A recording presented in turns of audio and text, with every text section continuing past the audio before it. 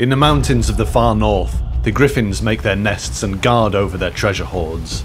Greatest of them all is the Griffin Patriarch, the body of a lion, the head and wings of an eagle. It is the most noble of beasts.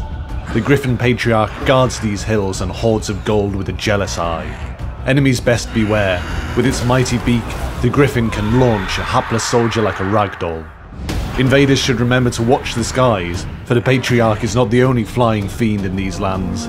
Lesser griffins share the clouds and swoop in to cut off advancing armies from dizzying directions. For any army foolhardy enough to go in search of the Great Nest, the skies aren't the only danger. The Arimaspoi also roam these lands, and are ready to lay ambush as their quarry is funneled along the narrow mountain ridges. The craven Arimaspoi also lust after the Griffin's treasure, and will fiercely fight off any competition. With the nest tantalizingly close, the glinting gold catches the eye of gluttonous soldiers, but serves as a distraction against the soaring threat of the Griffin Patriarch's renewed attack. Diving with unshakable resolve, he will fight any attacker to the death.